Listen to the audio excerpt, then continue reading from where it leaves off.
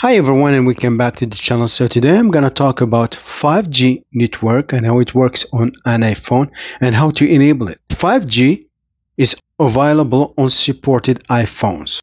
Most recent phones support 5G. If your phone supports 5G, it does not mean that you will have 5G if your price plan or if your monthly price plan is not 5G.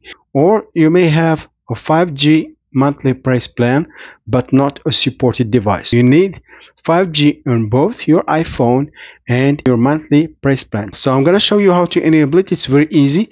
You go to settings in your iPhone and press cellular, cellular data options, voice and data.